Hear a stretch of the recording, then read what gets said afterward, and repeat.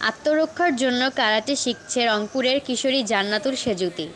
সে জানায় কারাতে শেখার জন্য প্রতিদিন দুই কিলোমিটার দূর থেকে সে রংপুরে আসে। সে যদি hello dot BD news twenty four dot কমকে বলেছিল, বিভিন্ন কাজের জন্য তাকে একা বাইরে যেতে হয়, তাই নিজের সুরক্ষার জন্য সে কারাতেকে বেছে নেয়। সে জানায়, প্রথমে তার বাবা মা কারাতে শিখতে মানা করলেও বুঝিয়ে বলার পর তারা রাজি হয়। কিছু থাকে শরীরে অ্যাটাক করতে পারে আমাকে অ্যাটাক করতে পারে। আমি ধরেন তখন হচ্ছে একাই বের হয়ে গিয়েছি। তো তারা যখন আমাকে অ্যাটাক করবে ড্রাগ জড়িত কারণে অ্যাডিক্টেড হয়ে যদি আমাকে অ্যাটাক করে সেখান থেকে যেন নিজেকে সেফ রাখতে পারি। মেইনলি আমি হচ্ছে মার্শাল আর্টটা এই জন্যই শিখছি।